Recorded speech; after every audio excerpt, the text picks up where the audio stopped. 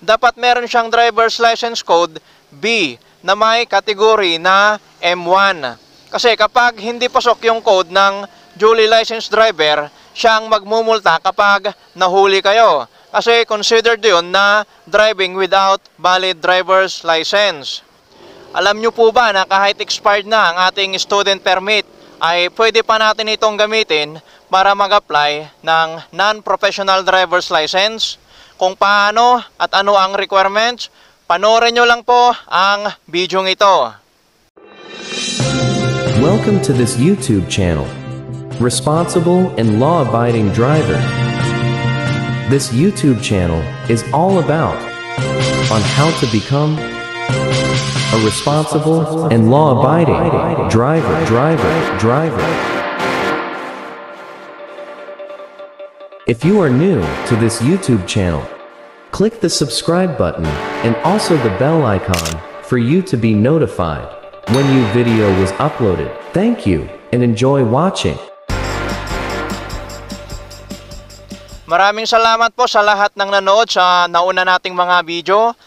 Sana meron po kayong natututunan at nakakatulong ang mga ito sa inyo. Maraming salamat din po sa mga nag-subscribe at sa mga sumusuporta dito sa ating YouTube channel. Meron din po pala akong FB page, baka naman po pwede nyo akong i-follow doon. Team Responsible po ang pangalan natin sa FB page. Para po sa mga may student permit na expired na, pwede nyo pa pong gamitin yan para mag-apply ng non-professional driver's license. Pero ang tanong, paano? Bago po natin sagutin yan, alamin muna natin kung ano ang student permit. Ayon po sa ating Filipino Driver's Manual, ang student permit is an authority granted by the Land Transportation Office or LTO to a person who desire to learn to operate a motor vehicle. The student driver must be accompanied by a duly licensed driver, acting as driving instructor, possessing the appropriate license code for the desired type of motor vehicle. Ang student permit po ay ipinagkakaloob sa atin o sa sino man na gustong matuto magmaneho ng sasakyan. The student driver must be accompanied by a duly licensed driver. Yung holder po ng student permit ay hindi pwedeng magmaneho ng mag-isa lang. Kailangan meron kang kasama o meron siyang kasama na duly licensed driver habang siya ay nagmamaneho. Kahit magaling ka na magmaneho, hindi ka pa rin pwede magmaneho ng mag-isa lang kung student permit ang dala mo. Lalo na kung baguhan o nag-aral ka palang magmaneho at student permit ang dala mo. Acting as driving instructor, possessing the appropriate license code for the desired type of motor vehicle. Yung duly licensed driver na kasama ng student driver, siya yung magsisilbing guide o instructor. Siya yung magtuturo sa student driver. Pero dapat pasok din po yung license code ng duly licensed driver na nagtuturo sa student driver na yan, sa sasakyan na idadrive ni student driver. Halimbawa, ang gustong matutunan na i-drive ni student driver ay SUV. Sabihin na nating Fortuner, Toyota Fortuner.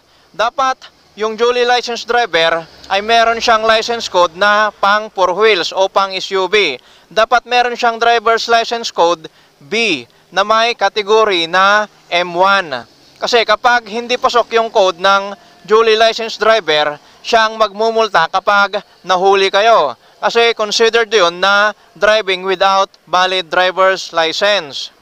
Sa pinakamadaling salita po, hindi ka pwedeng magmaneho o hindi pwedeng magmaneho yung student driver ng kahit na anong sasakyan na student permit ang dala niya kapag wala siyang kasamang duly licensed driver.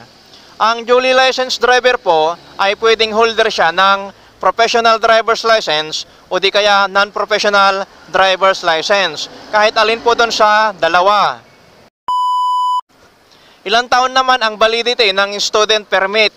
Ayon po ulit sa ating Filipino Driver's Manual, ito ay may validity na 1 year. 1 year po ang validity ng ating student permit.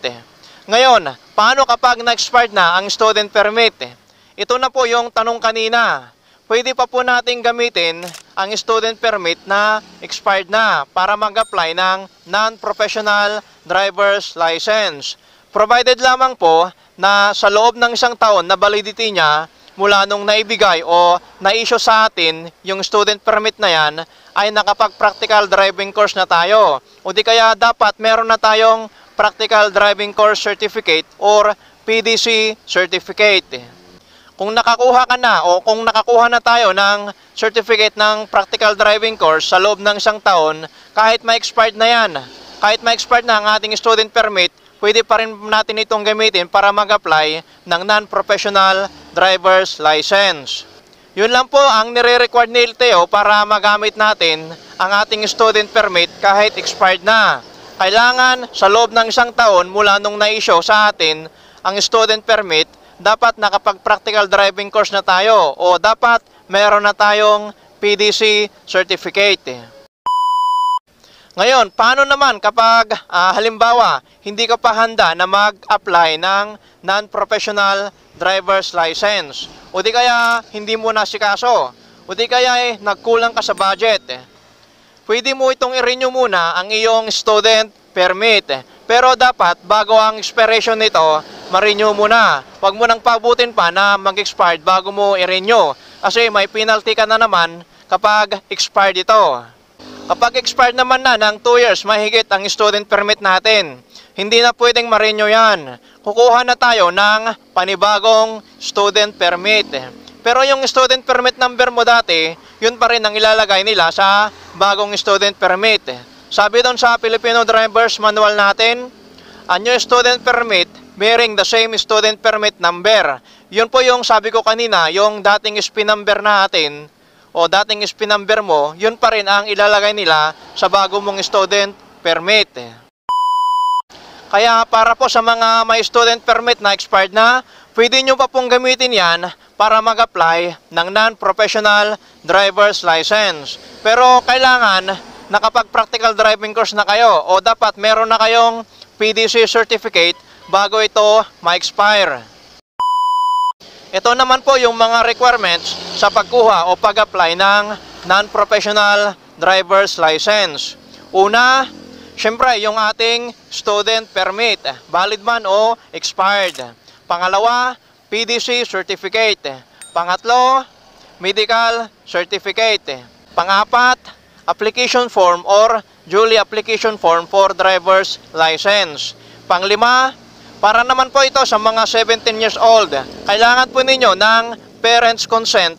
Kailangan may consent po ang inyong mga magulang. O di kaya, sino man nakasama nyo sa bahay na nag-aalaga o bilang guardian ninyo. Isama nyo na rin ang isang ID at isang photocopy ng kanilang ID, yung magulang nyo o guardian ninyo. Dapat sa ID nila, meron silang ah, photo at saka signature. Pang-anim, presentation of one any ah, valid ID and one photocopy. Dapat meron din kayong valid ID, any government valid ID po ninyo. Ito po yung mga acceptable government IDs natin na pwede natin gamitin sa pag-apply ng non-professional driver's license.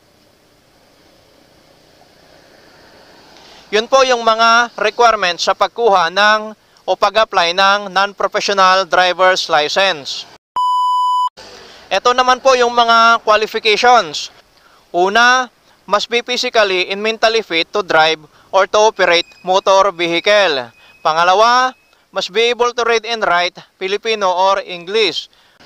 Pangatlo, must have passed the theoretical examination and practical driving test. Dito, kailangan yung may pasa yung theoretical exam. Kaya mag-review po kayo. Pangapat, must be at least 17 years old. Panglima, must be a holder of student permit. Dapat meron tayong student permit. Ah, Siyempre naman, kasi non-professional yung ah, ina-applyan natin.